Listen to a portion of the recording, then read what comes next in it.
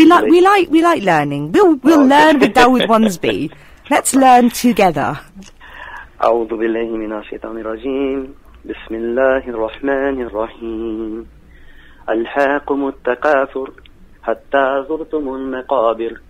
كلا سوف تعلمون. ثم كلا سوف تعلمون.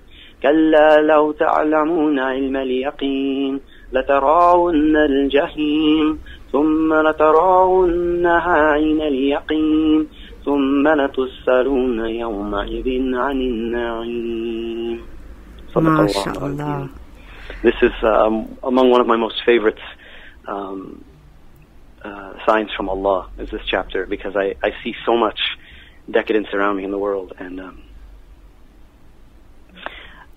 excuse me I, I live uh, for a few months of each year in Pakistan and um, I've been spending the last three years or there so and, you know when you see children rummaging through um, garbage piles down the street from your house and you and you assess how much money people earn there on a regular basis and the extreme economic apartheid that, that exists in places like Pakistan and and then you live back in in the world here in North America or England and you and you see how we waste, how we live, Yeah. uh, how we don't know the difference between our needs and our wants, and uh, it becomes very difficult to um, to live with oneself sometimes. So this surah, I think, is a, is a great reminder for all of us that um, this piling up of, of wealth that we have, it, it, it's all going to be gone, and we have to um, we have to keep that in perspective as we live our lives. And uh, yeah, so thank you for giving me. that. People often run to the counselling session and say, "I need counselling. This has happened."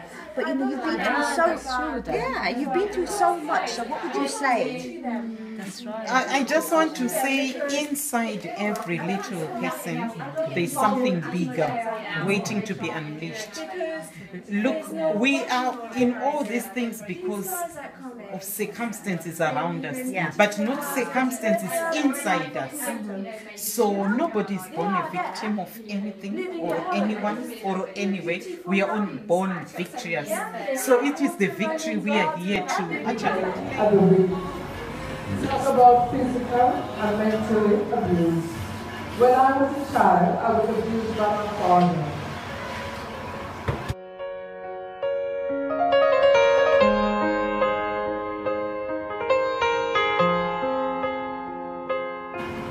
So in I told my mom, my sister, the family, no one wanted to know. want to turn to. We really need to wake up and stop acting when the worst has happened, when the children have died, when the people are being stabbed, or when our communities are being robbed and raped mentally, physically, and spiritually, inshallah. Okay, Jazakallah khairan for having me. Assalamu white cardboard box and that is my view. My legs are tucked in plastic and I feel probably shouldn't say this. I can't even look at the light because but it feels like I'm in a coffin. Like it's really horrible.